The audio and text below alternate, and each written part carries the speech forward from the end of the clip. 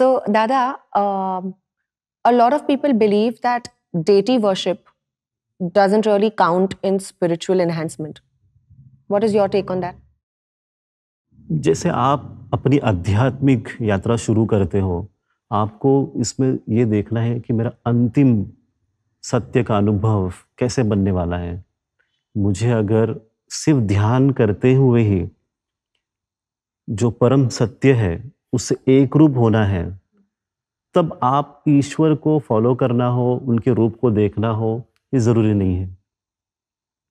अगर आपको ईश्वर का अनुभव चाहिए, फिर आपको उनके फॉर्म के साथ एक संबंध बनाना होता है।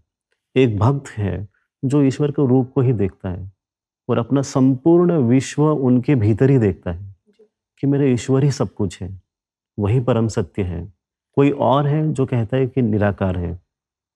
ईश्वर का रूप नहीं है तो वो उसी के साथ चलता है। तो आप अपने आप को कहाँ देखते हो? आध्यात्मिक पथ पे।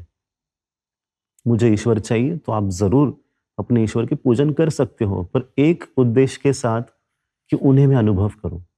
उनसे कुछ प्राप्त न करूँ नहीं, कि वो मुझे और कुछ दे, पैसा दे, ना सक्सेस दे। उनको अनुभव करने की कोशिश करना। है ना ये बहुत स्वार्थी हो जाते हैं कि हम उनके पास जाएँ एक चीज़ मांगे वो दें और आप घर चले जाएँ। आप उन्हें क्यों नहीं मांगते हो? आप उन्हें मांगिए कि मुझे आपको अनुभव करना है। है ना मांग आप क्या कितना मांगोगे आप? Entire world which is still very tiny बहुत छोटी चीज़ है ईश्वर को देने के लिए। आप ईश्वर को मांगिए वो सबसे बड़े हैं अंतिम सत्य है। तो उस भाव से आप वर्शिप करते हो तो अच्छा है। हम्म, ईश्वर नहीं चाहता कि आप वर्शिप करें। आपके वर्शिप से ईश्वर बड़े होते ऐसा नहीं है। आप बढ़ते हो अपने आध्यात्मिक पथ पे। जी। है ना? तो भाव बहुत ज़रूरी है आप जो भी कर रहे हो उसके पीछे। हम्म।